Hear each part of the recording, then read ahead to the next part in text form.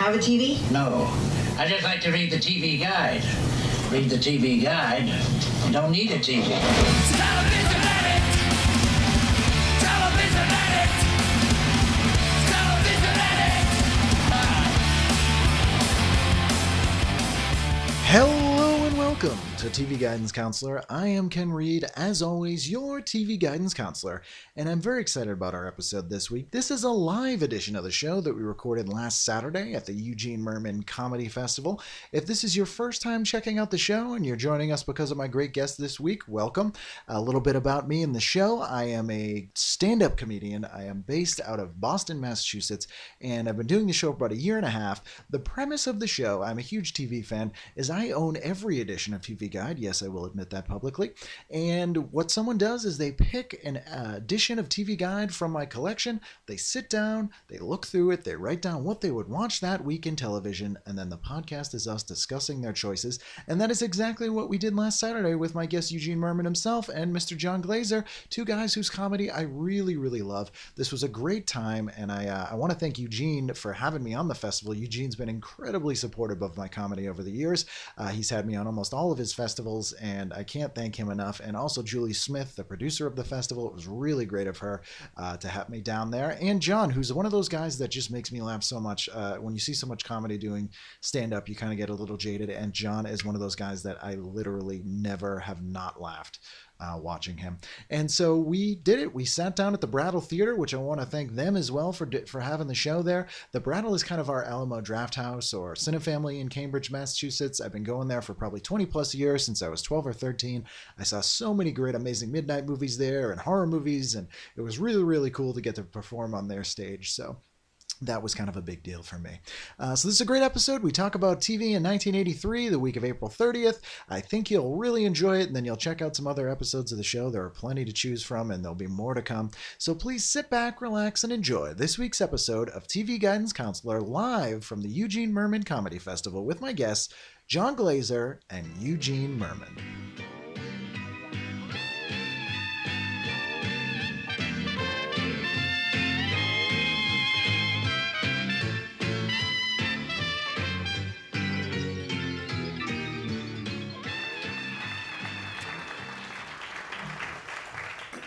Welcome, gentlemen. Thank you for Hello. for being here and, and traveling back to the week of. Uh, we can show the people the issue that we're looking at here. It's April 30th to May 3rd, um, 1983. We'll have it up on the screen here in a moment. There we go. Uh, now this is uh, TV's sexiest detective.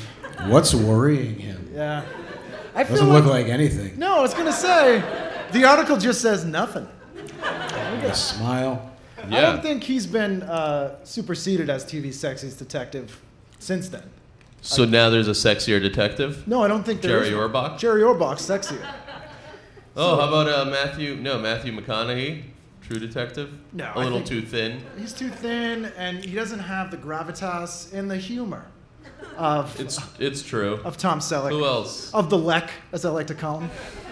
Yeah. The lick. The Lek Christian See, I Bale. called, I called him cells. cells. I feel like he'd call himself the Lek. Like, how you doing? It's the Lek. I need those Hawaiian shirts pressed. So I picked this issue because I wanted to pick an issue that I had three identical issues of. So TV Guide uh, was published differently in each region. So there were slight differentiations in each different region of the country. And these are three Boston editions. And I'm a little bit embarrassed to say I owned three Boston editions of a TV Guide from April 30th to May 3rd, Is it 1983. because the sexiest detective was on it? Well, yeah, I wanted one for each bathroom in my home. I, I actually don't know why I had three copies of this particular issue, but it worked out. And the, the first thing I wanted to mention was the cover is something that you don't see very often aside from the hunk here. It's, it's an artist painting of a famous person on a magazine cover, and you never get that now. I feel like that was an incentive for people to get famous then, to get did a nice portrait. Nice job with the chest hair. Yeah. Yeah. Do you think he sat for this? I don't think he would have needed to. No. You think the person did it by memory? Well, I think you could easily have taken a photograph. They could develop film in '83. Is that true? Yeah. if he sat for it, he's a fool.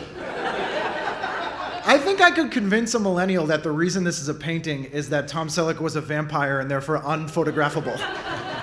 they had to. There was nothing else they could do back then. So John's at a little bit of a disadvantage because you grew up in Chicago, right? Detroit suburbs. Okay, Detroit suburbs, uh, Chicago. Uh, no, Detroit suburbs. So you're you're on Central Time, and this is an East Coast Time TV guide, so I'm it's on a East little Coast bit. time. outside- You're on East Coast Time in Yeah, Detroit. Detroit's East Coast. Chicago is central. Okay, I don't Yeah. know I anything think I about. grew up there. I only know Boston. I don't know I grew up there.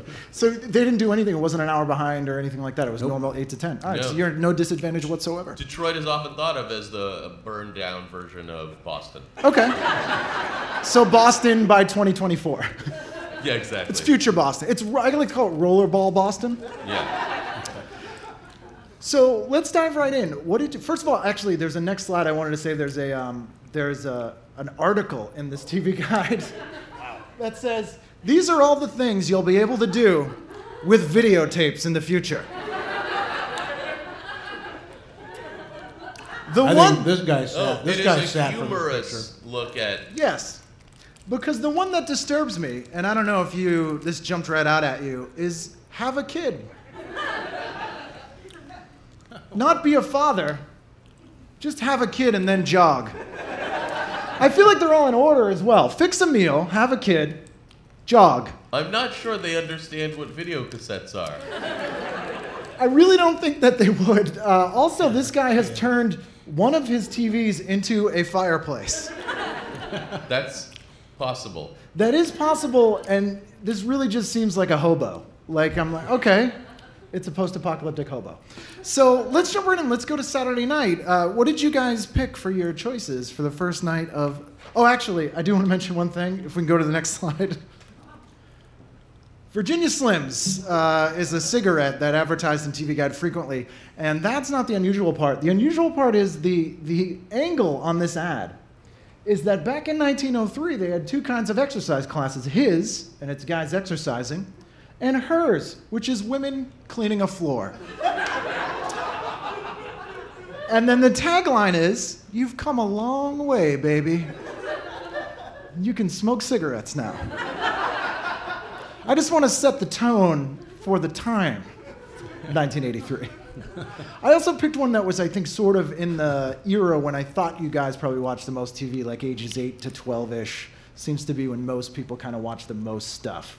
So, 83, you were probably both watching quite a bit of TV, I'm guessing. Yeah. Uh, probably a fair amount. Okay, all right. And you, you're both from families with multiple children? Yeah. Okay.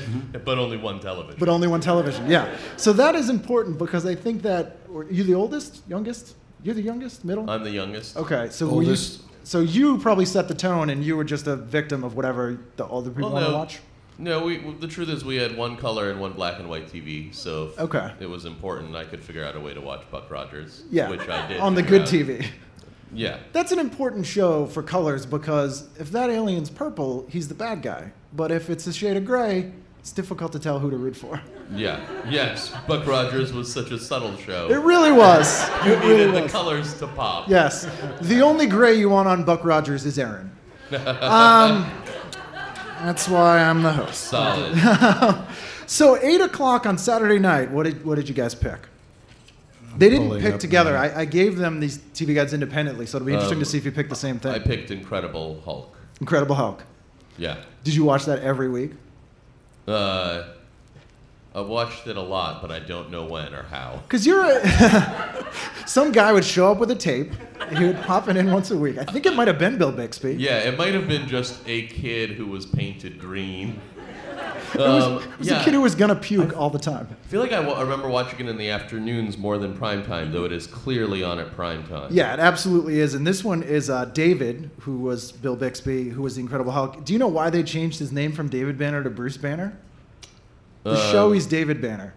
So that it's not a alliteration? What was the reason? Because the network said Bruce was a gay name. That's true. Really? Oh. They said the name was too gay in 1983, and they didn't want people to think Little Bruce did Banner. they know that David is the actual gay name. that is the gay name. I was gonna say. So they went with David. Yeah. It's David. There's an amazing uh, thing someone's put together on the internet where they went through every episode of The Incredible Hulk and wrote down what triggered his change in every Uh-huh. episode. And it's called the Hulk, Hulk Out list. I'll put a link in the show notes, but it's 100% true and it's hilarious because it's everything from a boulder falling onto him to not having change for a payphone. Wow. We've all been there. So in this episode, Yeah. David goes to work for a wildcat oil man who has gambled everything hoping to make a big strike. That sounds very non superheroic. Yeah, but I'll tell you this: Linda's played by Christine Belford. Worth it for watching that alone. I'm just telling you the only other piece of information. Yeah, that that's TV here. guide has given you. I, I would have watched Incredible Hulk. I was a big fan at the time, even though I was terrified of. I loved that show. Yeah. Yeah. You, you know what bothered me about Lou Ferrigno, and I don't know why this made him more scary to me? Uh huh. The fact that he was deaf. Like when he would do interviews, it really creeped me out. I, I'm not uh, disparaging deaf people, but for some reason it really As made a me child, scared. that can be very strange. Something about it was weird. But in the show, they never were like, by the way, the Incredible Hulk is deaf. This is just a thing you knew about the actor that made. Although it The- was implied because he never spoke, Yeah. and he would have been great in The Miracle Worker. Yeah. Like that's when I when I read that story, I picture the Hulk. You think there were writers that pitched stuff where Hulk couldn't hear? Probably. Or Like, they like tried to pepper jokes in where they would, or the editor would probably put in, "Hey, over here," and you know, Yeah. nothing. Lou That's Ferrigno was just focused over here. that's why he's behind you. Rock concert. And Yeah. He's like, this doesn't bother me. Turn it up, man. Freedom rock. It's like maybe they're like, that's why he was so angry. If we just were able to fix his hearing, it's like the lion's paw. Pull that thorn out, and he's a pussycat. The lion's ear. Yeah, he just needs a miracle ear. So I was actually terrified of him as a person and a character, and my parents somehow confused that with me loving Lou Ferrigno as the Hulk. And for my third birthday this year, 1983, they paid a bodybuilding friend of my uncle, my gay uncle actually, not named Bruce, uh, to paint himself green and show up at my birthday party. And I literally shit myself. and they were like, "He's so ungrateful." Still watched it though. I found the Incredible Hulk very comforting because he'd always help out in a situation where there was danger. He would, but they they had sort of an undertone where like he would kill the bad guy, let's say the oil baron, and like the the woman usually who was being terror, terrorized wasn't sure if he was a good guy or not, and there was always that moment in every episode where he's like looking at her growling, and she's like, "Are you gonna murder me next?" And then he kind of just jumps through a wall and leaves. Yeah. every episode. Didn't Lou Ferrigno's wife come out and wasn't she one of the Bill Cosby accusers? Yes, she Yeah. was. She's also in a great movie called um, uh, Black Roses about a satanic rock band. Wow. So she should know true horror. what was your choice, John? You know, I ended up going with uh, Stanley Cup playoffs. Also, a thing about the rage inherent in a human condition. I So, were you watching saw- a lot of sports? I saw that and I thought I probably would have been watching that, although I really honestly didn't even notice Incredible Hulk or TJ Hooker. And I probably would have been watching one of those. But I also thought, all right, if I'm watching hockey, then I'm going to flip around during the commercials. And then I noticed a movie, Southern Comfort. Yes. And that was my choice. That is a very grim movie. And I will say that I went through this today in my hotel room just doing it. And when I saw that, I Googled it. Oh, had you not seen it before? I had seen it a long time ago. The whole movie was on YouTube, and I sat and watched you it. in my sat and watched Southern Comfort? So it's like a time release TV guide where you're like, I could. This is on. I'm going to watch this right now. I got the time. Yeah. What's Southern Comfort? I've never oh, seen. man. You've watched it recently. Why don't you? It's about this group of National Guardsmen. Although I thought the casting there would be a little old yeah, they are. for for it to be like. But I guess you could be any age, right? National Guard, just do it on the weekends, right? Yeah. Weekend warriors. Yeah. So this group of National Guardsmen down in uh, Louisiana, That's and they the go Southern. on some. What's that? That's the southern part. Oh yeah, I know. and they go on some just training mission in the in the bayou in the swamps and they get lost and they encounter these Cajuns and it's their 3-day Vietnam Yeah. Against these Cajun guys. It's awesome. It's Keith like- Carradine's in it. Keith Carradine. Fred they- Ward. They fight. Oh, yeah. Cajuns? Oh, yeah, Oh, it's yeah. it's like someone saw Deliverance and was like, "This would be a great movie without the rape." if we could make this movie more like maybe like a video game. But is it? But it's trained soldiers. But No, they have blanks. Their their guns Yeah. are filled with Oh. blanks with training War missions. games. Yeah. Oh, okay. And then you know they start fucking with these Cajun guys and bad move. Yeah. I don't want to give anything away, but let me just say, bad idea. Here's the weird thing too. There's 11 Cajun guys, and they're all named after an herb or spice. Huh. No, that's not. Uh, The, No, it's only three of them. yeah. yeah. Yeah, all, All of them. But it's a pretty good movie, and it's it's a grim sort of. Oh uh, man, it's great. yeah. there's some really. All right. I Would you watch mo- forward to just it. wa- watching it on YouTube? Would you watch movies like that though? That's clearly not appropriate for you know a teen or preteen at the time. Uh, I don't know. I kind of feel like I might have seen it a long time ago and could have been a young person. Were there rules in your households about what you could and couldn't watch, like appropriateness wise, or amount of television? Oh, my mom was too high to give a shit. Nice. Just having a kid like that guy. Hey, you come a long way, baby. Uh, there were, but I mean, I feel like by early teens, it's just kind of whatever. All bets are off. Now, did they have on TV out here? We did. It was. Uh, it was. It got a little dirty at night. Because I'd go to my cousins, we just watch it on TV Yeah. and probably watch stuff like that. American Ecstasy. Did he mm-hmm. have a satellite dish? I don't remember. I feel like everyone in America for a five-year period had a dirtbag cousin with a satellite dish. you got a tax break or something, and, a, and an above-ground pool. Mm. Those were you had to buy those as a package. No, they had a they had a below ground pool. They had a very nice house. Oh, nice, Yeah. Nice. Uh, so nine o'clock, would you guys go with? Because you, you went for an hour show, and uh, hockey is more than an hour, though. I imagine you're I went that all night? hockey and Southern Comfort both. That's my time block. Then I went out and murdered forty-five people. I was flipping around between live hockey and just Cajuns Raging Cajuns. attacking these guys. I feel like there, you know, there was, uh, there isn't really any. I mean, Love Boat, I guess, a little. But Love Boat was I'd pretty go good. back to uh, the Buck Rogers that was on earlier. I would just have watched that instead. And just sat in I silence would and have reminisced. it and then watched it at nine. Did you have a VCR back then? Probably not in '83, but maybe somewhere around '86 or. Okay. so- I can't remember when. Uh, I remember finding out about VCRs, and I was like, so I could watch Superman at any time. I was very excited. I was At in home? Canada, yeah, and then I made people rent Superman. Nice, and the then, uh, original. Yeah, yeah, the only one. It was 1983. There was only like one or two of them. Right, that's true. Yeah, That's yeah. true. Wasn't Superman. Uh, Love Boat that night, uh, Minnie Pearl is in the episode, and I swear this guy was in every single Love Boat, even though he wasn't, Bert Convy. And uh, it's a very special musical episode of Love Boat, and weirdly, the TV guide chooses to point out the musical highlights of the episode and who sings the songs. um, and you will find out that Will the Circle Be Unbroken is uh, sung by Dottie West. Which would. Well, are there people who are like, Oh, what yeah, am I going to watch? highlights. Oh, there's musical highlights. I will tune into this. And a couple is plagued by three orphans in search of a mom. Yeah, maybe I would watch that. It's a little editorializing to say plagued by, isn't it? Because orphans normally they're like cute orphans need a mom, and this one's like these stupid orphans will not let these people enjoy their cruise ship. I, yeah, I don't know how orphan. I guess I'll have to watch the episode to see how orphans got onto a cruise ship. I'm thinking stowaway, but maybe it's like some kind of contest they won by selling stamps.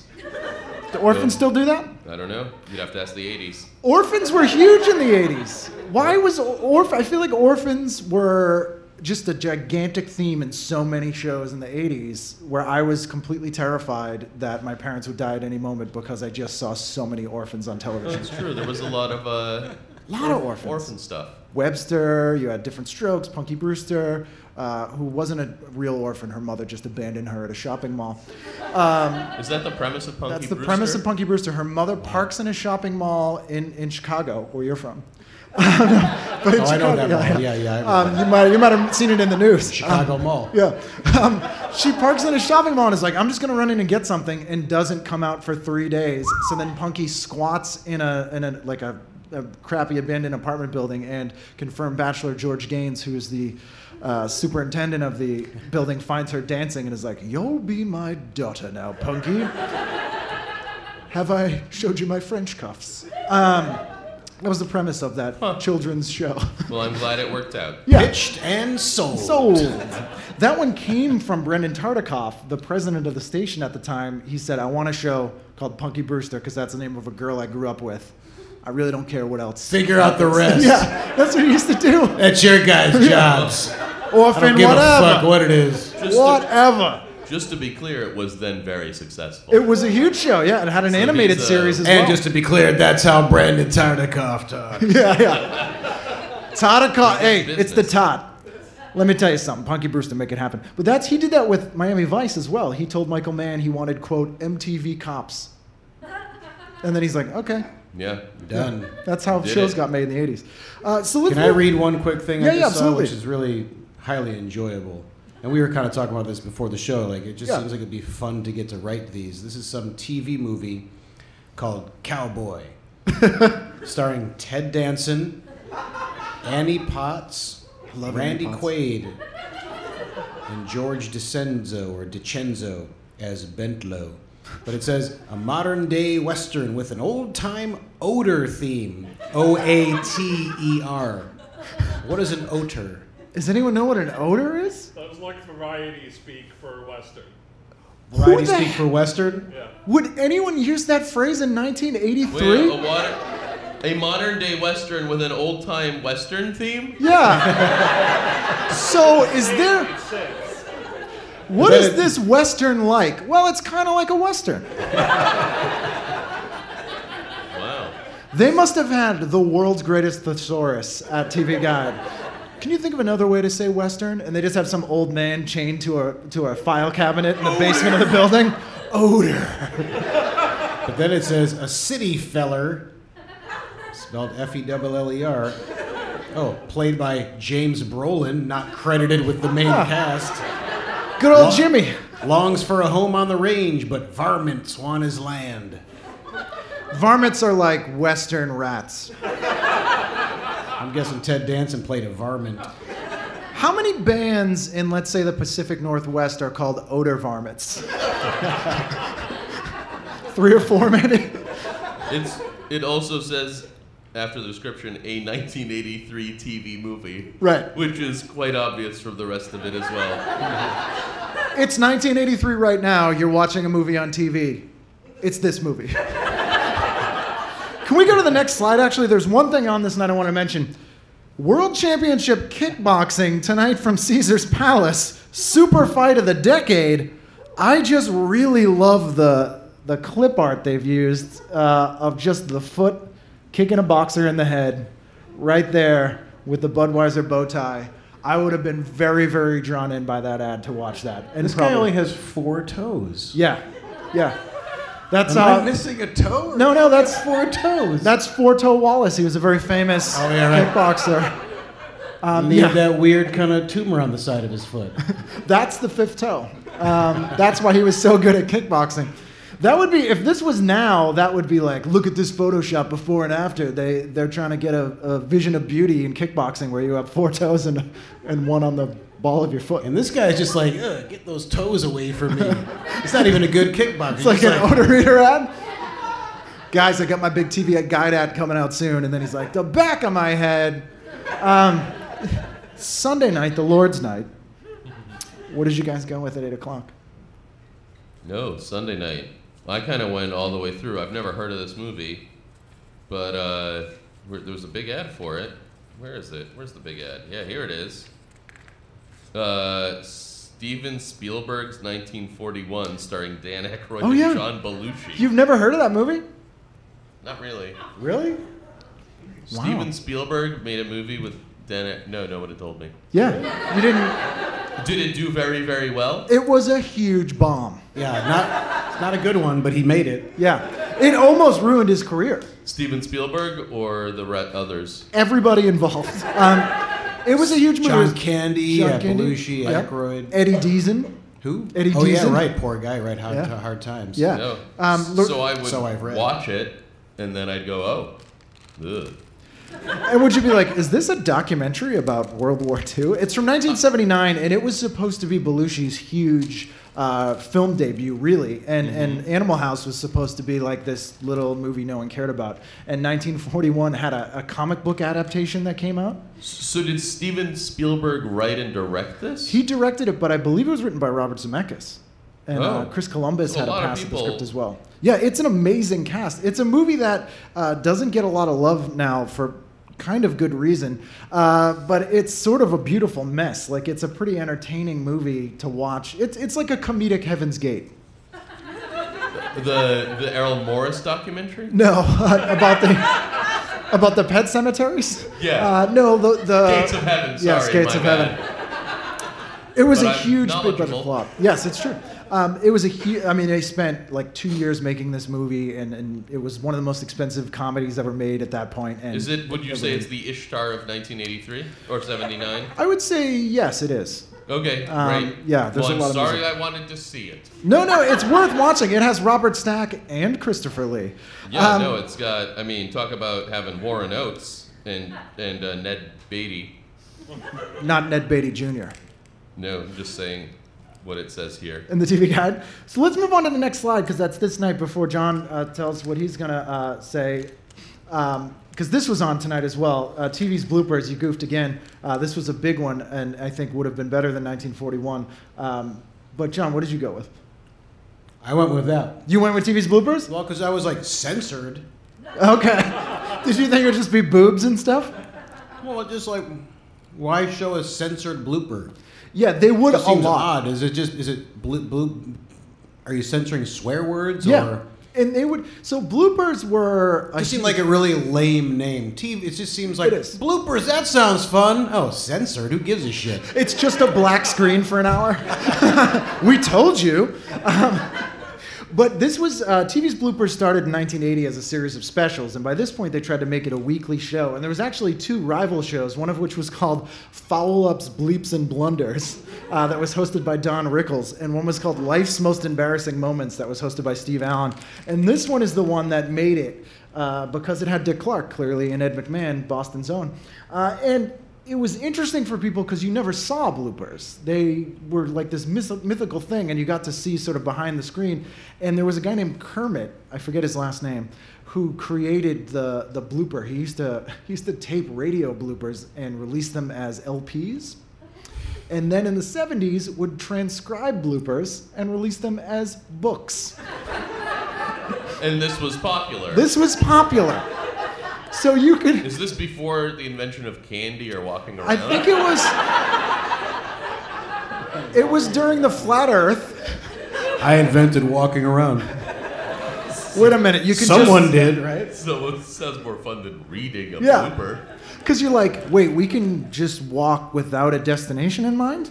Yeah. Uh, yeah. So you could, and you can get them on Amazon. They're super cheap. They're like little paperback books. I would hope they're super cheap. they're huge collector's market. But I always wondered, like, because I would see them at flea markets and used bookstores all the time, and I'm like, did people just read or like read these out loud to each other? Now I want to have like a stage reading of a bunch of bloopers. You should, because they really are like seem oddly then scripted. It's like someone calling a character by the actor's name and they're like, transcribe that.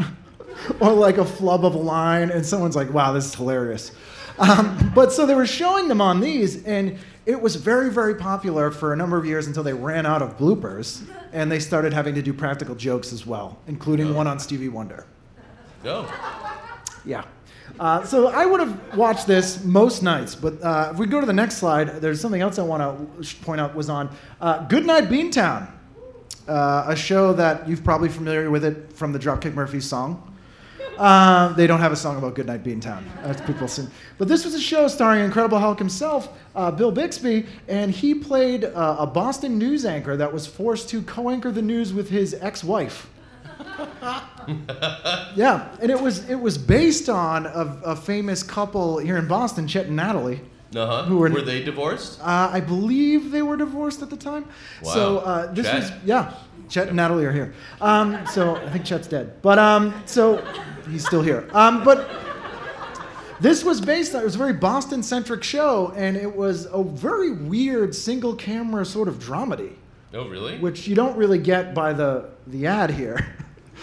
which shows them just in the rain. And this was the debut, and I would have been very excited about this because it was a show set in Boston, and we didn't have a lot of those at the time. Yeah, we had was what uh, Spencer for Hire. Spencer for Hire started in 85, Cheers started in 83, and before that was James at 15, which ended in 1980. What what did we have before that? James at 15 with Lance Kerwin. It was the show that uh, Kevin Williamson based Dawson's Creek on, No. which is very weird. Uh, but uh, you didn't have, did you have any shows set in Detroit at the time? Or Ann Arbor. Besides hockey? The Iggy Pop sitcom set in Ann Arbor? Yeah, it's just the Stooges. Yeah, MC5 House. Just like the young ones. I'm trying to think if there were any Detroit. I can't think of any Detroit shows Never ever. know. ever. What's What? that? Uh, Magnum PI Magnum was PI set was a show in Hawaii. Uh, yeah. yeah, yeah. the That's exact Your answer, your answer to the to the question, were there any shows based in Detroit, was Magnum PI, but not Detroit. There's this one show that's not set in Detroit that I'm gonna name. Yeah. Magnum PI was probably the least set in Detroit show I can think of. Uh, he wore a hat of the Detroit Tigers. Where was Facts yeah, of Life but- based? do you, Facts of Life was based in Peekskill, New York, upstate New York. Did this Thank you. person in the audience think that wearing a Detroit Tigers hat made you, it was like an embassy? Like, if you wear that hat, it's technically Detroit soil, no matter anything under that hat? Was there ever a RoboCop sitcom? There was a RoboCop TV series, but it was filmed in Canada, and yeah, it was set in New Detroit. Actually, it wasn't shot Yeah, there. but that's probably in the that was in the nineties. That was in the 90s. Robocop had a series of TV movies, including Robocop Dark Justice, uh, and in a, in a syndicated uh, hour long TV show and an animated series. And actually, the Robocop TV series was produced by Ken Johnson, who did The Incredible Hulk. No. And also did the thing I would have watched this evening. wealth of knowledge. Yeah, I know. The amount you know is somewhere amazed. between amazing and upsetting. It- yeah. If you think that's true for you just hearing it, think of how true that is for me having to have it. Yeah. Yeah. Um, so nine o'clock, would you go with Eugene? You're watching Oh, 1941 uh, all nine night. O'clock. No, I was like, well, after seeing the first hour of 1941, I was like, ugh. and I switched right to uh, V, Part One. Yes. Terrified. Did you pick Yeah. V? Stanley Cup playoffs. Okay, Yeah. Stanley Cup playoffs. While you're Yeah. watching that, lizard people are taking over the world. V was a huge deal at this time. I Yeah. mean, everyone was talking about V. This was a this was a made-for-TV miniseries. Uh, I don't know why I said made-for-TV. There wasn't like they used to do miniseries in the theaters. Uh, I guess every movie's technically a miniseries. Um, and this was originally supposed to be a show about uh, neo Nazis taking over the U.S. And Ken Johnson, again, the guy who created The Incredible Hulk for television and The Bionic Man, uh, did this show for NBC, and he pitched it as a show about the rise of neo-Nazi fascists taking over America. And they said no, and then he said they're aliens, and they said yes. That's literally how he pitched that show. Nice. And Well, this was a two-night event, and it was terrifying at the Yeah, time. Yeah, I remember being yeah very scared. The people had basically skin masks and were aliens underneath, and you found out at the end of the first episode. So I just ruined it for you. Where Diana, who was the, the like the queen of these aliens and was very hot, she was played by Jane Badler, who was uh, former Miss New Hampshire uh, from New Hampshire, and uh, the final, yeah,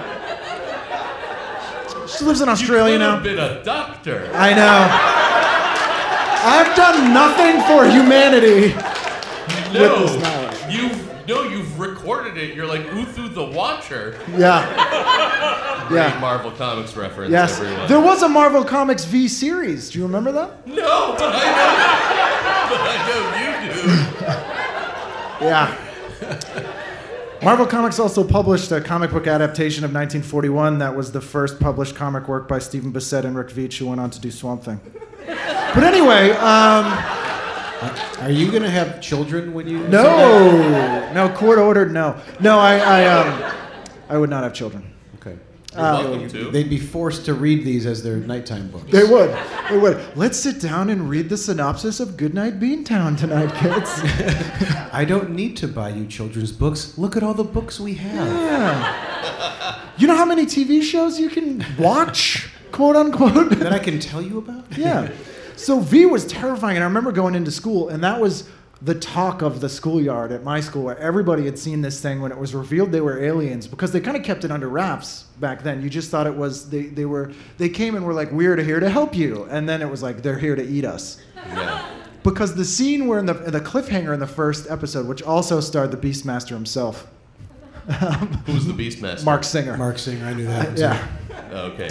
Did you guys have cable growing up? I watched. I don't even know how many times I watched Beastmaster. yeah, you must have had If HBO. it was on cable, I watched it every time. I had cable starting at some point, yeah. because there was a, a joke that I don't know who came up with this, but that HBO stood for "Hey, Beastmaster's on," because it was on so much. Whenever I got cable, it was after the Beastmaster. It was after, on. well, TBS, which kind of took over the, the baton for HBO, people would say it's the Beastmaster station. Did you say tis the Beastmaster? Tis the Beastmaster station. Boy, that is my new favorite joke for There you go. because hey Beastmaster's on. hey, Beastmaster's on. The other HBO joke. Did you guys have this one? You'd It's a ask. universal joke. Anywhere you are in the world, you're gonna enjoy. You guys get HBO here? Is- hey, Beastmaster's Will on. you uh, do me a favor and have that translated to every language? Abs- Hey, Beastmaster's on. well, I got news for you, John. I've just done that. No, the UN, there's the guy at the mic, and he's like, hey, Beastmaster's on. And then you see all the translators going. But uh, Beastmaster was so popular on TBS that they made a made for TBS sequel called Beastmaster 2 Through the Portal of Time with Kari Wuhrer. Was that popular? No. Is Beastmaster a movie? Yeah, or- it was okay. a movie done by Don Coscarelli, who did the Phantasm movies. And it's about a mass, um, a beast who's mad. It's about it Marc Singer, who's kind of like Tarzan, except he has ferrets. Is it fun? Tanya Roberts is naked in it. Yeah, that's a huge plus. Yeah. Sounds Watch like Southern Comfort movie. and Beastmaster. Yeah. There was a series of PG movies that had nudity that was like a loophole for kids because HBO would show them before 8 o'clock at night. They wouldn't show nudity movies till after 8 o'clock except for this small group of PG movies, which I have committed to memory like everyone from my generation. Which is mostly the Beastmaster. Beastmaster, do you know them? What's that? Do you know these movies? PG movies. PG movies with nudity?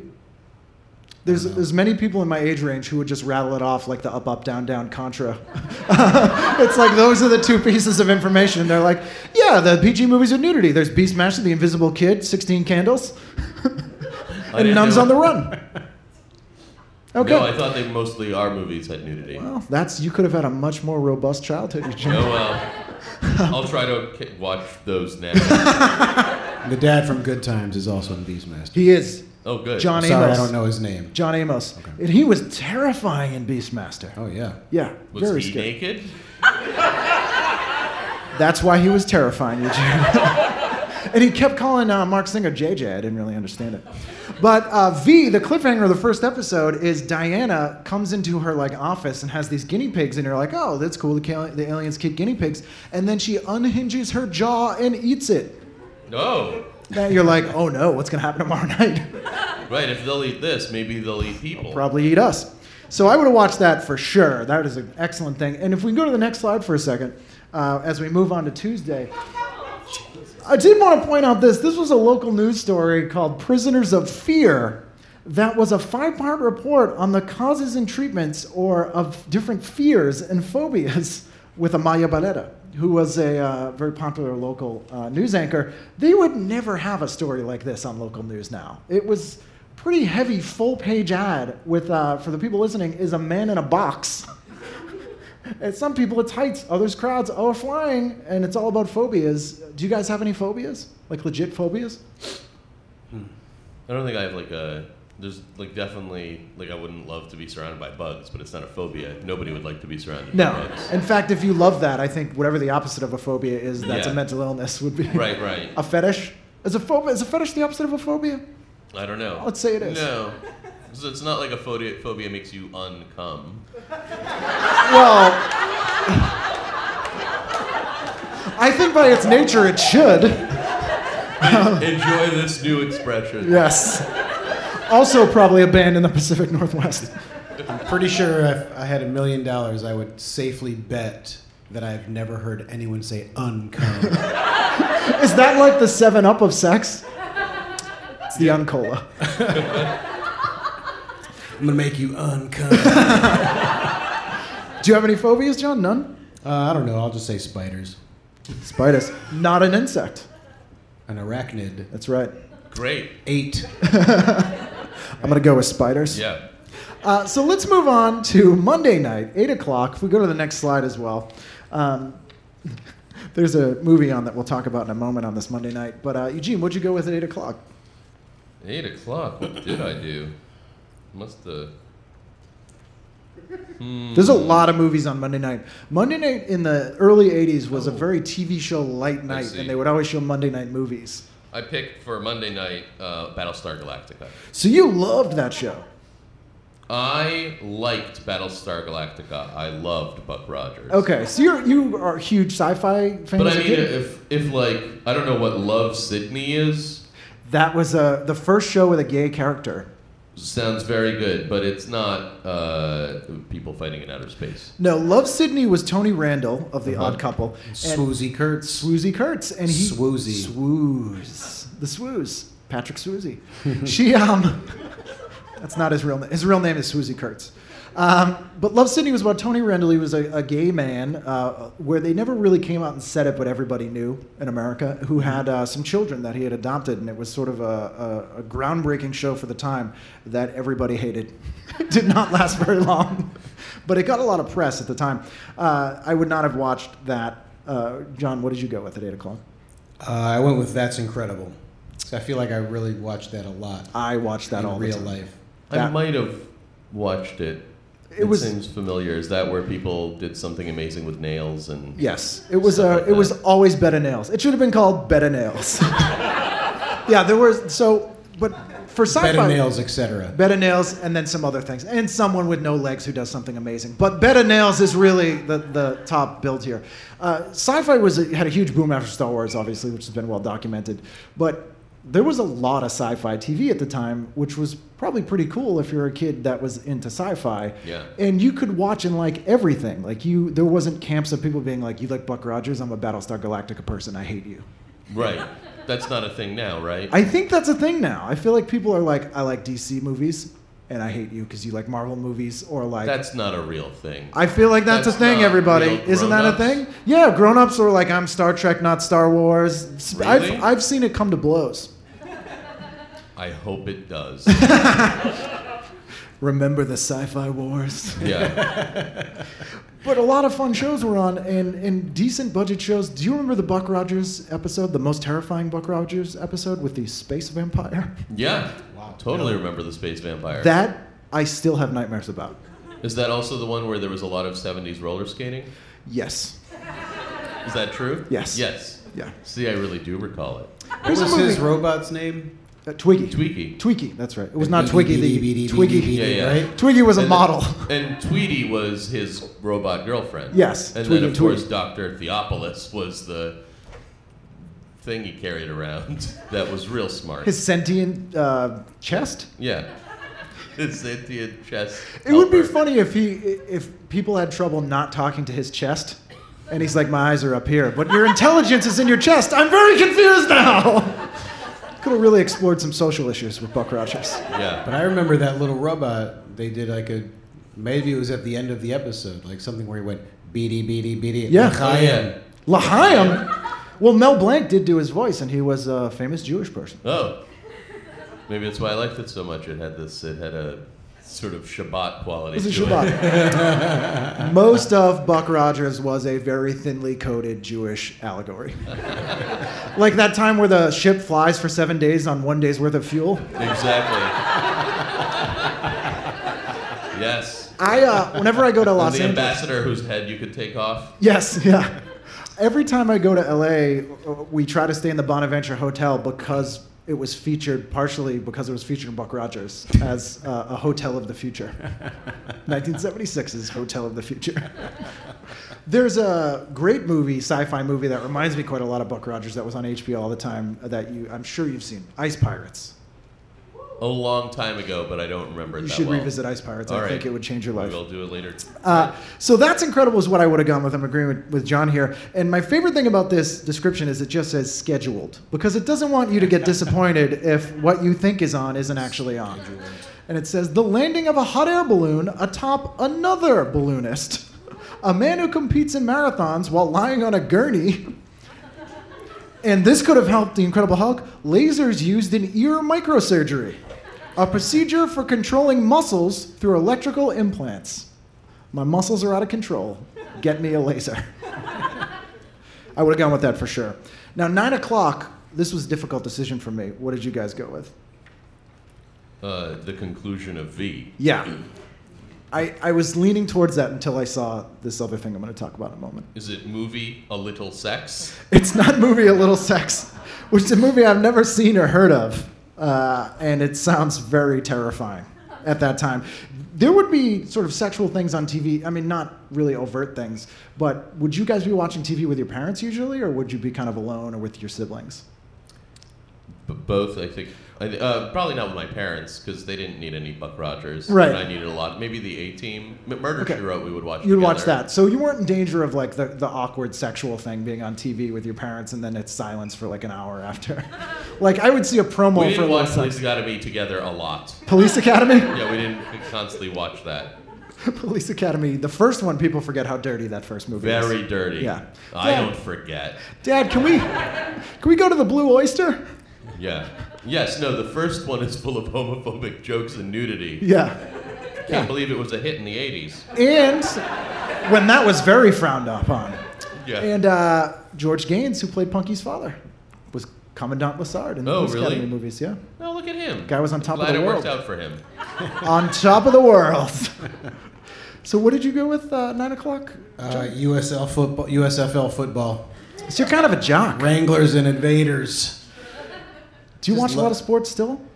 I still do fair amount. Were you playing a lot of sports? I was watching sports on my phone. He was. for the show. He was streaming a hockey game. on his NHL phone. playoffs. Yeah. Yeah, and Eugene was uh, I was streaming shooting Buck. lasers. Yeah, you were using Eugene's sci-fi technology to watch sports. I would not have watched either of those things. I think, although as much as I loved V, I was intrigued by a TV movie I had never heard of, which is up on the screen for the people here in the crowd tonight. It is a movie called Legs, and I wish it said so much 71 gorgeous legs. Yeah, that is my that was my first thing. It's about the world's first one-legged dancer. And then that's it. And then you're like, now I gotta check this out. Yeah. 36 beautiful girls, 72 gorgeous legs. On stage, they're the world's greatest high kicking chorus line. But when the show is over, the struggle for stardom and the search for love began. A look at what really goes on backstage with those fabulous Rockettes. And it stars John Heard of Chud fame. Uh, also, the dad in uh, everyone's favorite Christmas movie, Home Alone. And also the uh, bartender in After Hours, my favorite Martin Scorsese movie. but that sounded intriguing to me. I, that's something I would like to watch now because I feel like V we can see all the time. I think this very theater has shown it. Legs not really getting shown a lot these days. Probably not something you can really rent. Uh, and before we move on to Tu- Tuesday, if we could go to the next slide. This is a 10, o- 10 p.m. show. Oh, there's V, obviously. Uh, very, very good. Next slide for a second. The aliens are friends. This is a terrifying ad for that evening's Cagney and Lacey. It's, it actually says a very special episode on it, first of all, as if you couldn't tell. And it's a woman just absolutely in fear, and it says, Who can a battered wife turn to when her husband is a cop? I don't know if you guys picked up there, but it means that the cop is the one beating her. I don't. I feel like they wouldn't do a TV show about that now. Like I feel like that Uh, issue, Don't they make movies? Like, isn't there a movie About that? I don't know. battered cop. No, but I mean, I feel like, uh, I don't know. Lifetime. And Cops are certainly, you know, occasionally vilified on Twitter. Very, very rarely. But that seemed like a really uh, uh, kind of a big deal to show in 1983. Oh yeah, I don't mean to say that it isn't. Sorry, I think it's a big deal to do this in 1983. I think Yeah. people would still do it now. You think? Okay. I, I feel like it would be. Um, I don't know. I feel like it'd be more controversial now. But oh, like this would be too. Uh, polarizing. oh, and they'd want to. They wouldn't want to make people fight each other. Yeah, I think that they would be like, guys, just fight over the Battlestar Galactica versus uh, Buck Rogers thing, and let's leave the can a cop be a wife beater stuff off the table. but a show that people kind of laugh at Cagney and Lacey now. It's a, it's sort of a punchline show. You know what it is? I feel like uh, Law and Order has definitely had like stuff like this. Probably. Uh, they have a lot of. Grim things. pretty dark. really, Law and Order is. It's set in Hawaii, right? Is that the one with Yeah. Burt Yes. Reynolds? Solving beach crimes, Beach crimes. beach assault. Is that your little Oscar? Because I think you stole it. Yeah. There were six beers in here earlier today. You've soiled my towel. It's a two-parter. Uh, let's move on to Tuesday night, May 3rd, 1983. I'm assuming you guys picked what I have to imagine you did for 8 o'clock, but what did you guys go with? Tuesday night. I mean, I picked my favorite show, Yeah. which was the A Team. Yeah. I think that was everyone's favorite show in 1983. I think it was certainly the number one and two show of the. Did you like the A Team? Did not watch the A Team. What'd you go with? I went with. Um, Stanley Cup playoffs. well, of course. I went with the B team. It was a show. I went Stanley Cup playoffs and uh, the Deer Hunter. Wow. Okay. You're a mature child. Um, you know, after this violent sporting event, I'd like to see something with maybe Christopher Walken and Russian roulette in it. The Deer Hunter was actually the first uncut movie shown on over the air television. It was shown by TV 38, a local Boston television station, and they showed it completely unedited. Really? Oh, really? Yeah. In what year? 1980. Oh, wow. Yeah, it was Was pretty- it to scare children? I think it was to scare children. They were like, guys, don't go to Vietnam. It's been over for 10 years now, but we'd like you not to ever let that happen again. Uh, so you didn't watch a lot of the hour-long action shows? You were like pretty much all sports all the time? Probably a lot of sports. I never got into A Team. Um, watched a lot of Love Boat. So Love Boat was okay. Well, it's just you know, was, my parents were divorced, so it was always you know go to my dad's for the weekend and just oh we'll watch uh, Love Boat and that's incredible and uh, Entertainment Weekly or whatever that show was. Entertainment Tonight. Tonight. Yeah. My stepmom watched that a lot. And Did- then I'd watch sports. But I remember, I feel like I'm probably older than you guys too. So maybe for me it was, you know, Deer Hunter was my thing. It was in my, Yeah. Did you watch TV the- viewing. Would you watch that with your dad? Like go over his house on the weekend, watch Deer Hunter? No, that was more like me and my cousin watching on TV. Yeah, yeah, yeah, yeah. Did you watching ever? stuff like that. It was like, oh, this is cool. It's army stuff. And then like, oh, Jesus. Yeah, yeah, yeah. I feel weird about the military-industrial complex now, and for a moment I thought I was gonna. This De Niro flamethrowering all those Yeah. guys, and then of course all the Russian lead stuff. It's just, oh, this is kind of. This has changed my outlook on things quite a bit. You know what was an odd phenomenon too was at this time you had very negative things set in a pretty recent war. And you don't have that in a lot of popular culture these days. There's not like crazy Vietnam, you know, crazy Iraqi war vets coming back on on Law and Order. Right. A little, but not a ton. Yeah. Not like the A Team, not like a whole thing. It's like these people were framed in Iraq. Yeah. Now they just help people out in the desert. The US government screwed these guys over and now they're just kind of, you know, having fun. They drive around in an identifiable van, helping widows. So what was it about that that show that was your favorite show of all time? Um, it was first of all super fun. It Yeah. was intentionally, I think, both actiony and really funny. Yeah. Murdock, super funny. Ba, what a nice guy. Loved Yeah. kids, helped orphans. Uh, Hannibal was so confident. There's a Uh, famous thing about him where every single thing he was ever in, George Peppard, he would introduce himself to all the actors. Have you ever heard this about him? No. His line would be, I'm George Peppard. I'm not a nice man. And then he would be just a complete jerk to everybody. Oh, really? Yeah, I guess on the set of the A Team, he was very mad that that was supposed to be his show. Yeah, not BAs. Not BA's. And Mr. T is Mr. T. Obviously, he's going to be the biggest star in the history of the world. It's Mr. T. It's a seven foot tall black man who dresses like an Indian and wears 48,000 pounds of gold. Can you think of a person now who would be on a show cast as a character that they just let show up dressed like they dress? That like- wasn't a reality show. Yeah, like that's like Lady Gaga getting cast in a show about Iraqi war vets and showing up dressed in a bubble suit. And people are like, yeah, well, that's her character. Yeah. It's a big deal. Very, very weird. So he would have these sort of standoffs on the set where, like, he wouldn't leave his trailer until Mr. T left his trailer. And they would go, like, overrun shooting time and all this stuff was a big deal. No. I want to point Well, point none of that came off on screen. no, that chemistry was fantastic. And then you had Dirk Benedict from Battlestar Galactica. Yeah, Dirk Benedict, who uh, he now does, I think, like co- like uh, like political commentary. Yes, yeah, yeah, yeah. It's it's, it's good. It's Interesting. it's uh, involved. It- his his anyway, I can't remember it, but his explanation of why Battlestar got canceled was something that w- uh, was really funny. It was like a combination of misunderstanding uh, how like TV worked and sexism. Yeah. Or something like that. Hey, but can anyway. you greenlight uh, another season of Battlestar Galactica with more chicks in it? Cancel it? That's exactly how it went. it was a misunderstanding. I'm gonna, you know, what I'm gonna blame fax machines. yeah. It was the early days of fax technology. Yes. Uh, I want to go to the next slide because I can show you what the A Team was about that night. This was kind of shocking to me.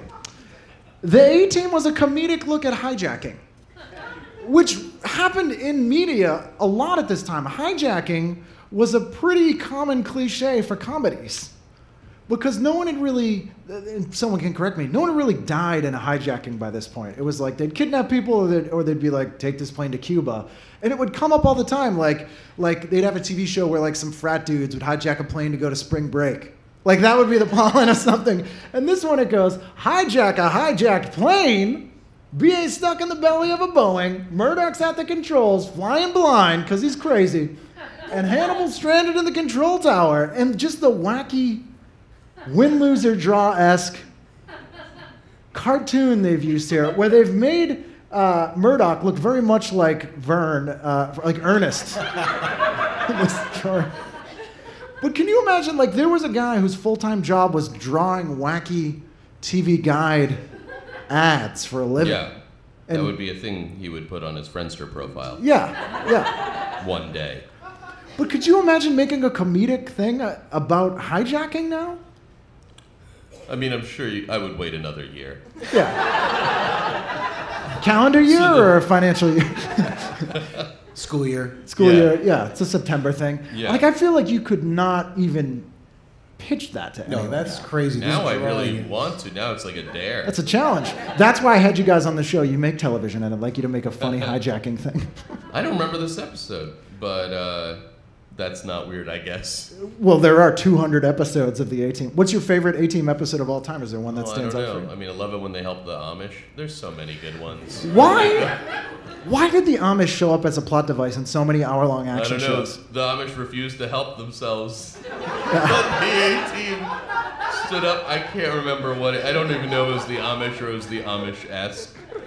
When I was in a, I don't know how familiar you people are with the Amish, which is a phrase I find myself saying far too much. Yeah. But they have a thing called Rumspringa, where when you're 18, I think you can be not Amish for a year and just do whatever you want, like go Yeah, yeah. nuts. That And document, Devil's Playground. is that Yes, the doc- yes. Pretty fascinating. It's crazy. And so when I was in a band in the 90s, we would play. Uh, you just tell the story so you can talk about your band. anyway, I was Kip Winger for four years, and uh, but um, we would play like in, in Western Pennsylvania a lot, and there's a lot of Amish. And the first show we played there, uh, this kid who booked the show sees these kids coming up, and he goes, "Oh shit!"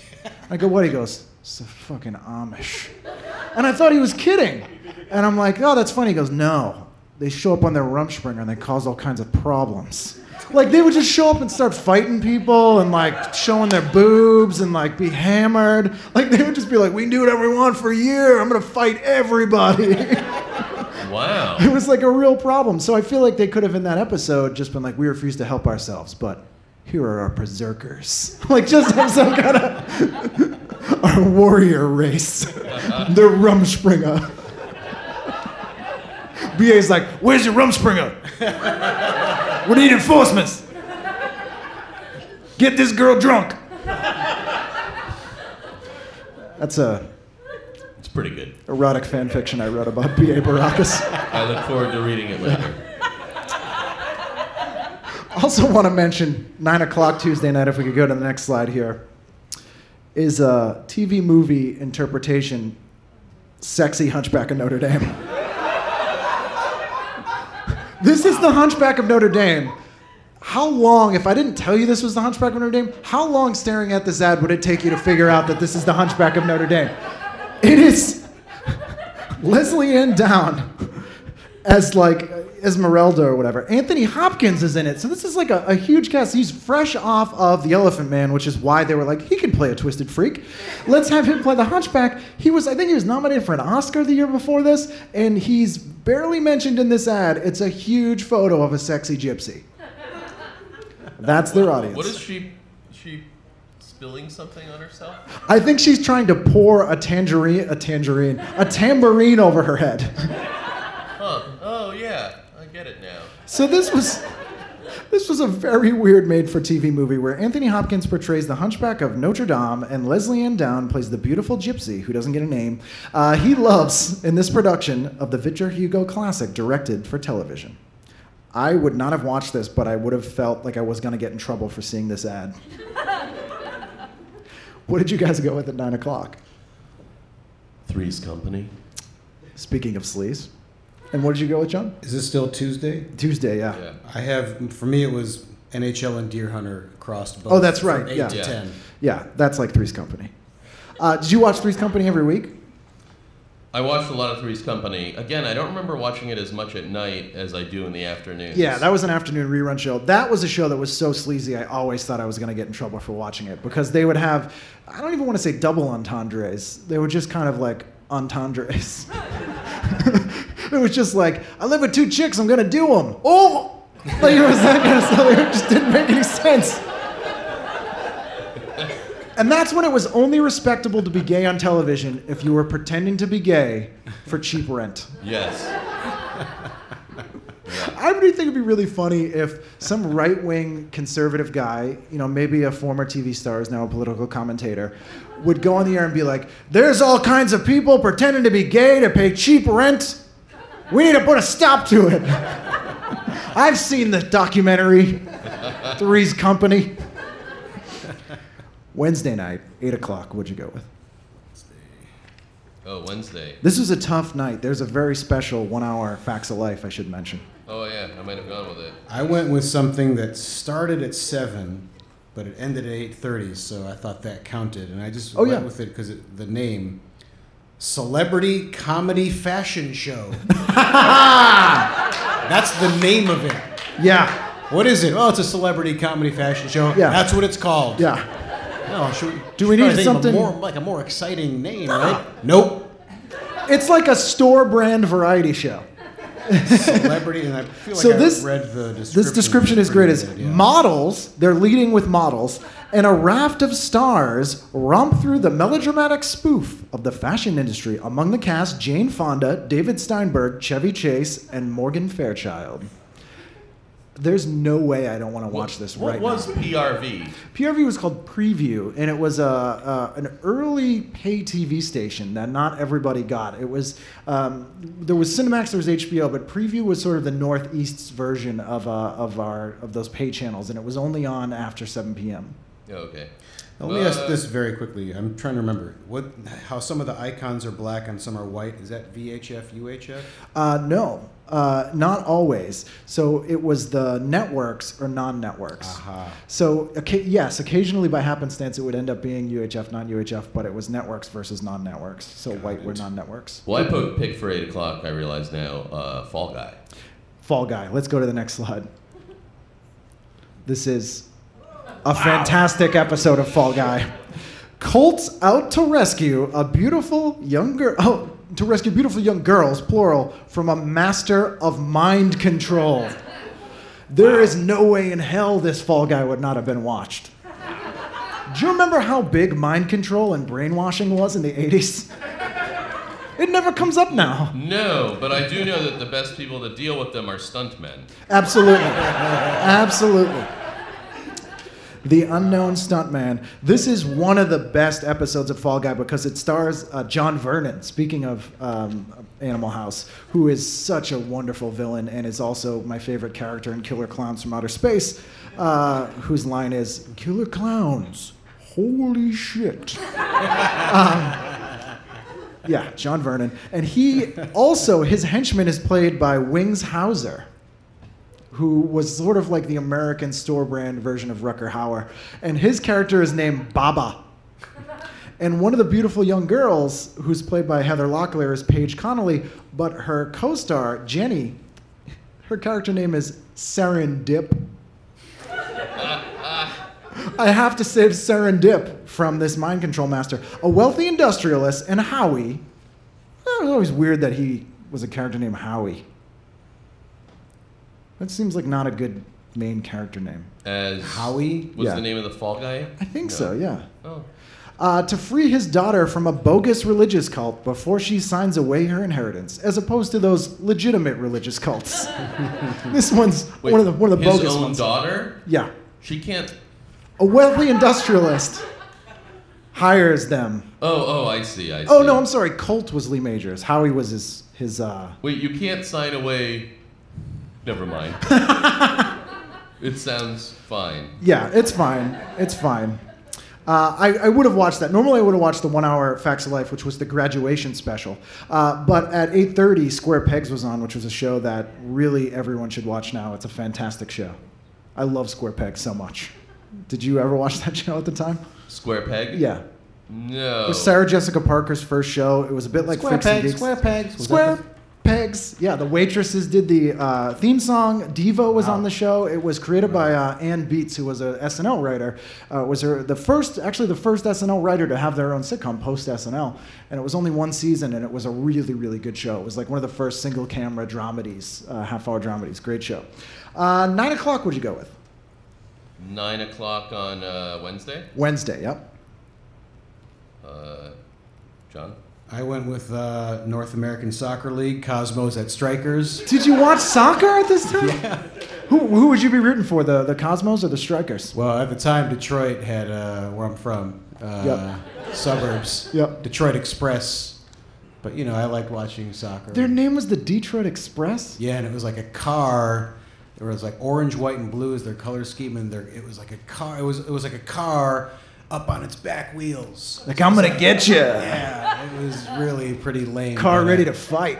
Yeah, it was like a, yeah, it was like a dog up on his or a, or a, a werewolf up. This on its car's been backed into a corner.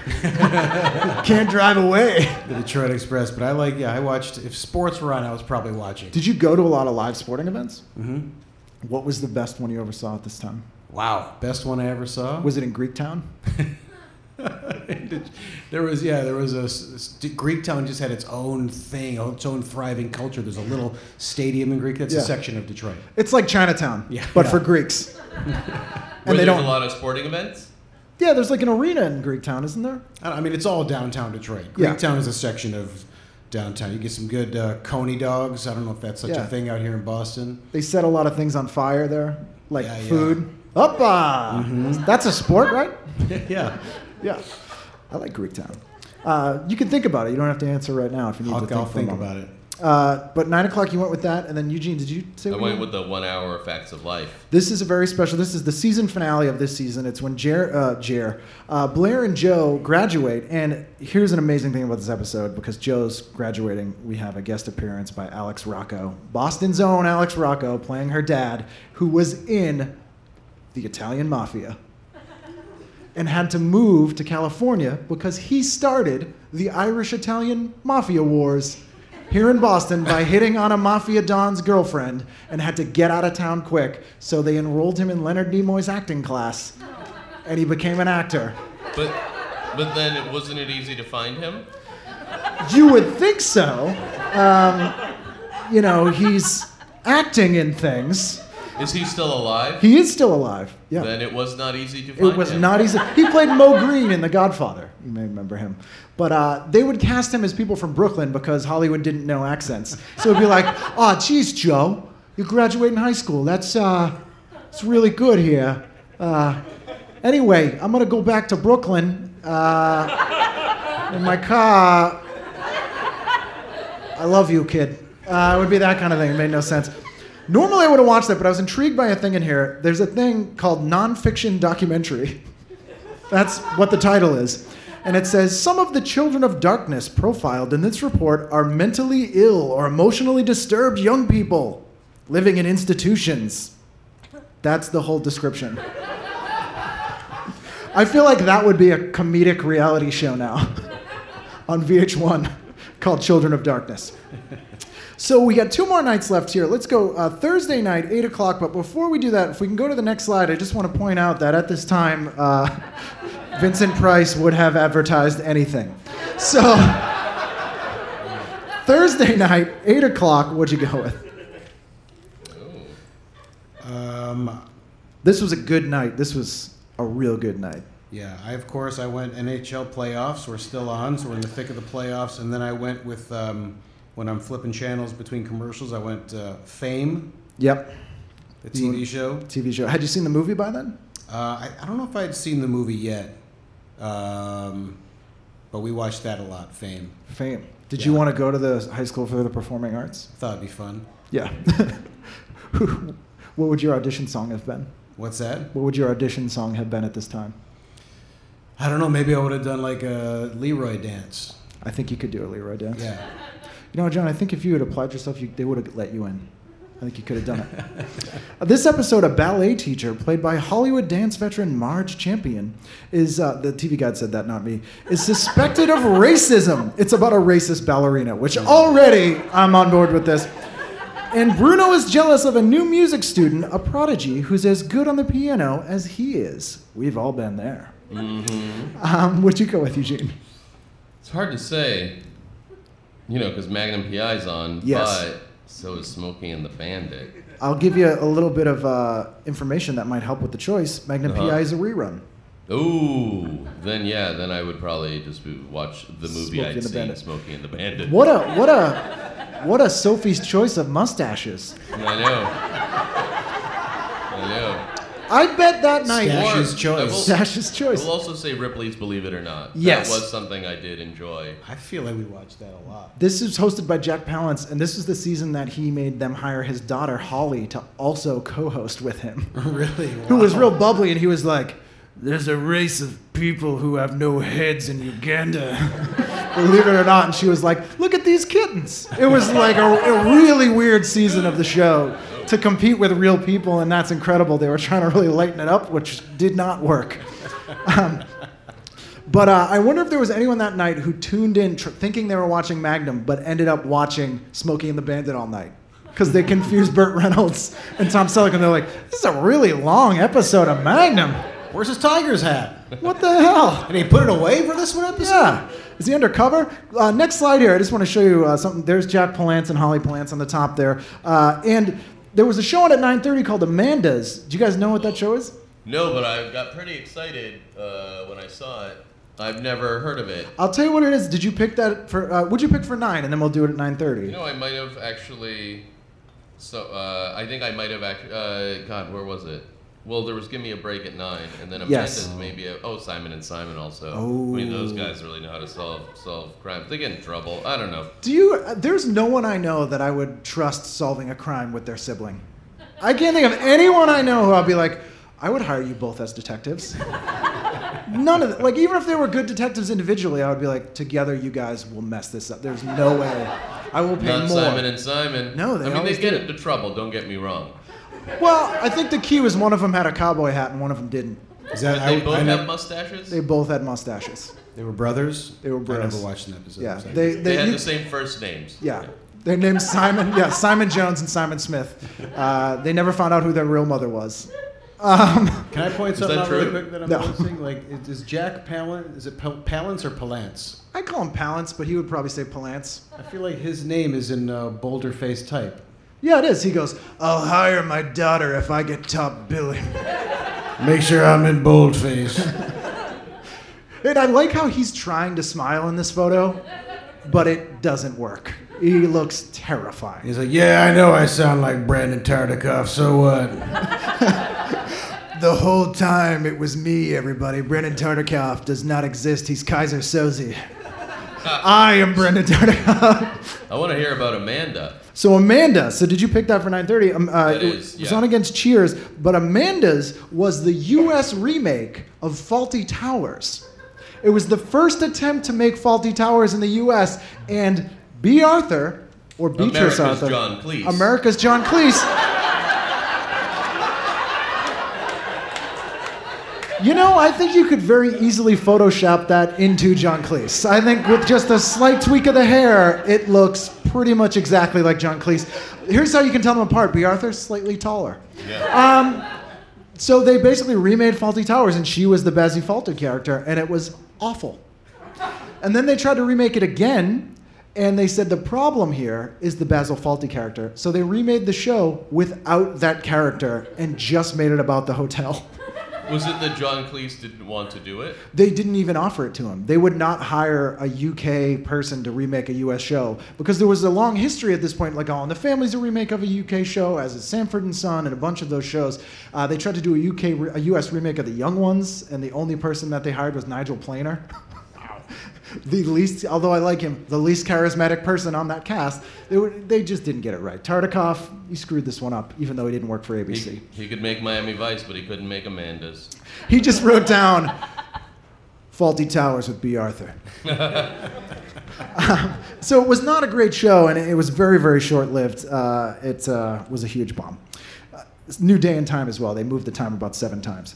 So the final night of the week, Friday night, school's mm-hmm. over, you're running right home. You can stay up all night if you want, watch whatever sports you want, which I assume you may have done. Not a lot of sports on this night that I would have watched. It's Friday not not Really? a, You wouldn't watch track and field? Probably not. I did- listen, I did not write any sports down. Really? Was, mm-hmm. was there a sport that you drew the line at? Like, you're like, I'll watch any sport except bowling. I don't think so. Really? Did you ever watch bowling? Sure. Did you always have to pick someone to root for, or were you just like, I don't care? I don't know if I'd watch the whole thing. I just would just kind of put stuff on, but there was mostly like football and baseball and basketball and hockey. Did you have a different team from anyone in your family, so there was like a rivalry? No. Like- so there was no team that was your Battlestar Galactica. no, not not within the family. Although I do remember once something I did. It was Detroit and in Chicago. Actually, the Pistons and the Bulls had a heated rivalry at the time, and we had WGN. Yeah, on our Superstation GN from Chicago. Mhm. And I'm watching. Uh, I think I was watching a game, and it was on G, WGN, and then it goes right to the newscast, and one of the newscasters or sportscasters starts just disparaging the players on the Pistons, and I was just like, I was so livid that I'm these Chicago newscasters are talking shit about the Detroit sports, uh, the, the, the, the, players in the Pistons, and I called information. And I asked, got the number of WGN. You called W. How old were you? I must have been early high school. It was, oh, wait a minute. Uh, now I got 31. I, I almost don't want to know. Yeah, let's But say I think- 14. I was, it was high school or college, maybe. But because it was in a house, it was in the house that my mom and stepdad bought my senior year of high school. Okay, so So this maybe is it was around then. So you still could have been topless too- on too TV old- and have it be legal. That's how old you were. maybe too old to make this phone call and get this upset about it. but I did call and I got some, probably an operator. You, your newscaster shouldn't be talking like this about Detroit athletes. What did she say? Was she like sorry? All right, uh, yeah, I'll, uh, I'll report it. Just couldn't have given a shit less. Probably thought it was a prank. It'd be funny if you're watching it live and they wa- like interrupt the news and they're like, "Get off now! We're getting complaints. Get her off the air." So Eugene, we'll start with Eugene. We got the tease that John did not go with a sporting event, but where did you go eight o'clock on Friday? 8 o'clock on Friday. Uh, I went with Dukes of Hazzard. The Dukes. Dukes, the good old boys. This they is- never meant no harm. They didn't. You know they didn't. This is a repeat, so I would not have gone with it. Oh, really? yeah. I'd probably watch the repeat unless, uh, oh, well, but, but Beloved Infidel is on. I don't know. It's- Beloved Infidel. It's a movie about hijacking. It's not. I don't know what that is. I think I would. Here's the interesting about the Dukes that night. It's the episode that's about Sadie Hogg Day, which sounds filthy. When the ladies run Hazzard County, Hogg installs Daisy as the treasurer to frame her for embezzlement. A woman as a treasurer? It would have to be something crazy like Sadie Hogg Day. there was a real difficult choice here for me because there's a Bernstein Bears special on the Bernstein Bears Littlest Leaguer, which is a sports thing, about as sportsy as I'll get. Sure. Against the television debut of The Shining. Both feature bears. what did you go with, Sean? I went with Meatballs. It was also on. Yes. That's an HBO classic, Meatballs. Yeah. I have a controversial opinion. Meatballs 2 is the better movie. Wow. Yep. Wow. It's got an alien. It's got Pee Wee Herman. It's got an alien? Yeah, named Meathead. Oh God. John Never- Larroquette's in it. I don't even know if I knew Whoa! there was another meat. Four-time Emmy award-winning actor John Larroquette. Yes, John Larroquette, who won so many Emmys for Night Court, he had to ask them to stop nominating him. Yeah. Upstanding guy. I hope to will do that one day. Yes, I think I Please, think please, enough. you're sort of the John Larroquette of our time. Tell that to the remake of Night Court. Yep. I would I would like to see a remake of Meatballs 2. Not the first one, just Meatballs 2. the next generation. Uh, so you're watching that all night. Yeah, Meatballs was my across the board, but I'd go Dukes of Hazzard if I was watching something else. Uh, that's between eight and nine. Did Nine you ever go to summer camp? Oh yeah, camp was a major part of my life. Major part of my life. Were you like, this Meatballs is not accurate? oh, I love meatballs. You- Did you think it was an accurate Mm-hmm. representation of summer camp life? Felt pretty good. What is what was the most accurate representation of summer camp life, movie wise, for something you've seen? Please don't say Friday the Thirteenth. What you mean in general? Yeah, like what was a movie? If you're like feeling nostalgic for your time and summer camp, you'll like throw a movie on and be like, it's just like Little Darlings. I don't know if I ever ever have those moments in life. So you don't. Oh man, I'm feeling nostalgia for camp. I gotta put something on. sometimes I forget not everyone suffers from the same mental illness that I do. Other than I can like tell, meatballs and Wet Hot American Summer, how many? Oh, there's a lot of summer I camp I'm movies. sure there are. Madman, Sleepaway Camp series, Summer Camp Nightmare, uh, Little Darlings were two. So none of the things you're naming are movies anyone knows about. Poi- the made-for-TV movie Poison Ivy with Mary Jo Polniaczek, Again, never know. Michael J. Fox, If you had said Space Camp, we'd be like, okay, but we never went to space. Space Camp. Oh, it was Space Camp, right? That's what you forgot to mention. You went to yeah. Space Camp every year. Yeah. That's why I I didn't. will want- say that in sixth grade, I called my counselor a fucking cocksucker. really. What did he do? Did he disparage the, Det- the Detroit Pistons? We were uh, our.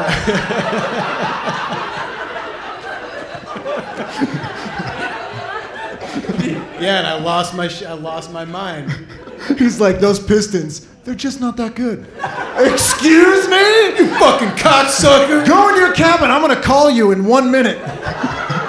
I did it thinking I was being funny. I got a joke, everybody.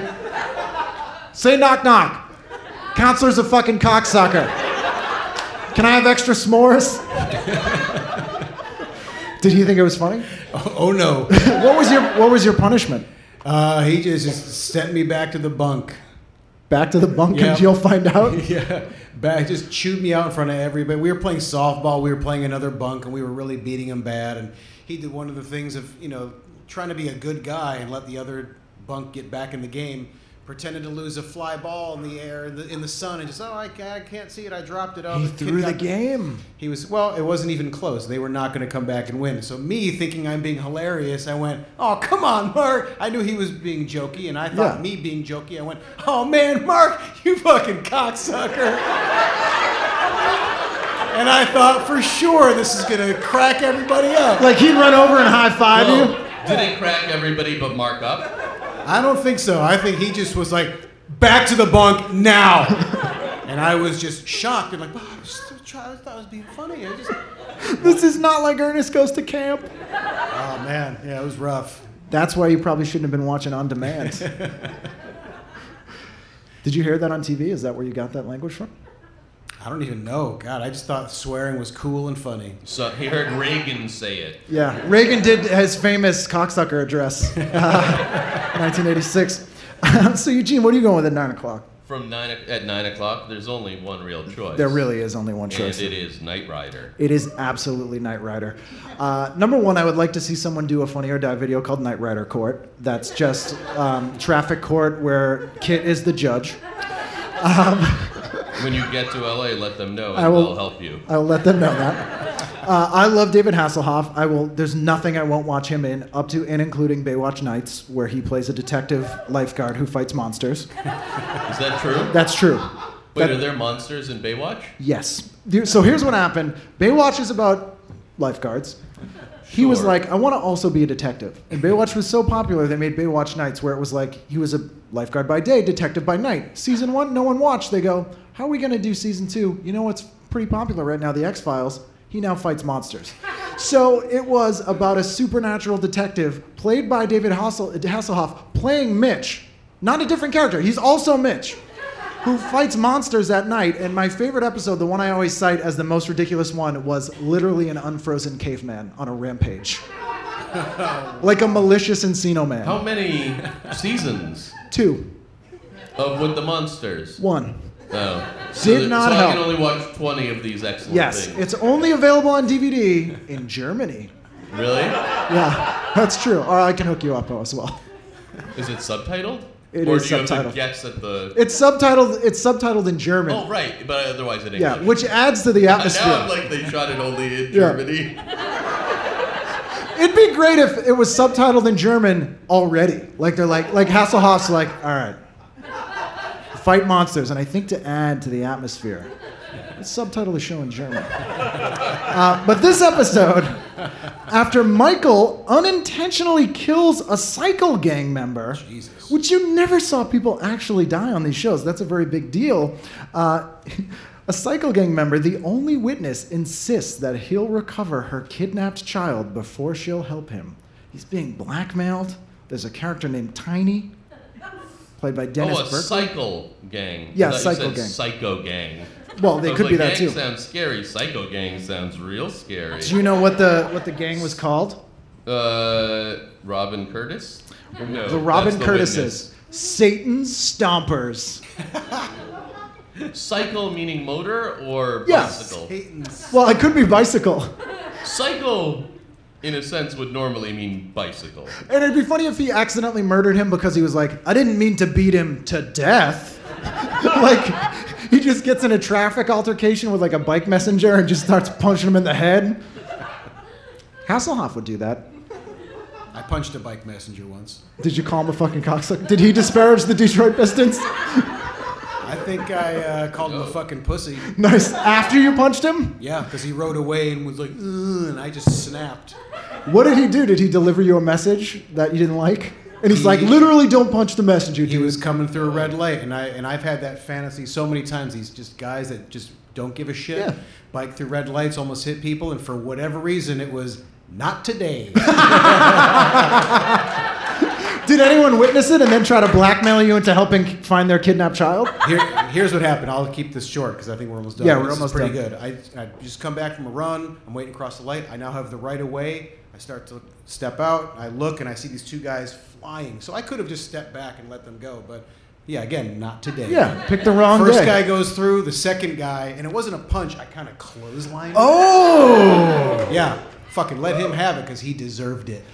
I he was he made this. no no it was not stopping and he was going hard through this red light 100% in the wrong and so was i but whatever but i feel I, but it, it- 200s listen, make a 200. if he if i had knocked him down and he had fell and hit his head and died i was already playing that in my head i'm like all right if i'm in court and he died your honor i was defending myself and in the act of defending myself he fell over and made the two mistakes uh, the, the two poor choices to run a red light No helmet. and no helmet what can i do I don't think he's anyone. dead. There's no but court. he didn't fall?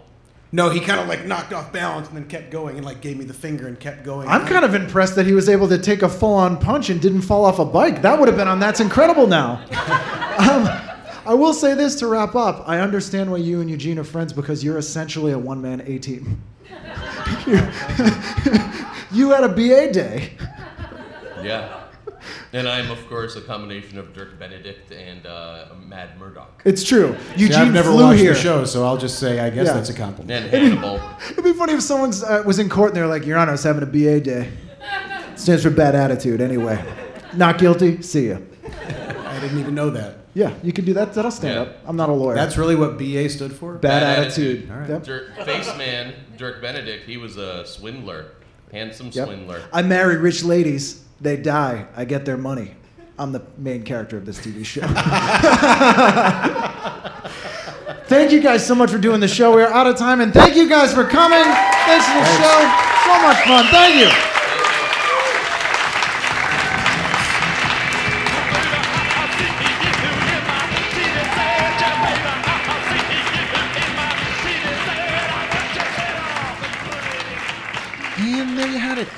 And there you had it. As promised. West, Jon Glaser, Eugene Mirman. Really fun show. I really enjoyed doing it, and it was great to see so many people coming out to the show. That's always surprising to me. Hopefully, you enjoyed it and you'll listen to the show again. Make sure you subscribe because we do a new episode every Wednesday, but I have these sort of off cycle episodes. If there's live or a special, you never know. So make sure you subscribe, and if you like the show, rate and review the show on iTunes. It's a huge help. You can also sign up for our mailing list at tvguidancecounselor.com. I will not spam you. I think I've sent out one email uh, thus far, actually announcing this very show that you just listened to. I am doing another live show at the Bridgetown Comedy Festival in Portland, Oregon on Sunday, May 10th in the afternoon. Uh, you can go to bridgetowncomedy.com. My guest will be Brendan Small, so that'll be a lot of fun. You got a couple weeks to get there and uh, get to the show. Start walking. It'll be a good time. Uh, but I'll probably send an email out about that show. You can also email me at tvguidancecounselor at gmail.com or at uh, ken at icanread.com. You can also go to our Facebook, TV Guidance Counselor, or at TV Guidance on Twitter. So we'll see you again Wednesday for an all new episode of TV Guidance Counselor. But in the show, they never were like, by the way, the Incredible Hulk is deaf.